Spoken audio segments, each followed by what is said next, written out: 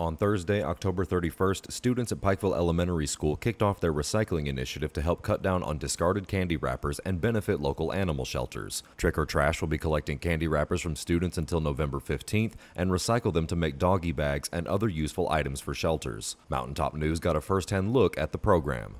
We've had this great opportunity. Uh, Morris Industries contacted us and uh, they said they, they had this great community service project, and our student council is all about community service. So they were super excited to take advantage of this.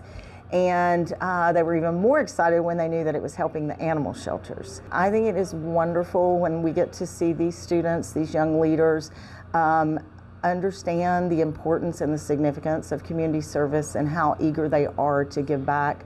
Uh, they recognize how much the community does for them and for our schools, and they really just want to get back. They have so many projects lined up for the uh, for this year, and uh, they're just hoping they have time to get them all in up to $600 off select devices. And that makes this the season of saving and upgrading at Appalachian Wireless with a new or renewed line on any Appalachian Advantage unlimited plan. We are you. We are Appalachian Wireless.